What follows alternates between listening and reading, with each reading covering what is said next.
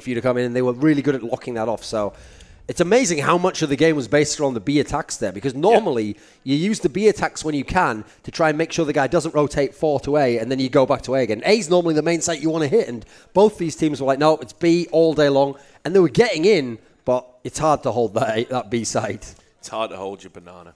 So, It's very easy for me, mate.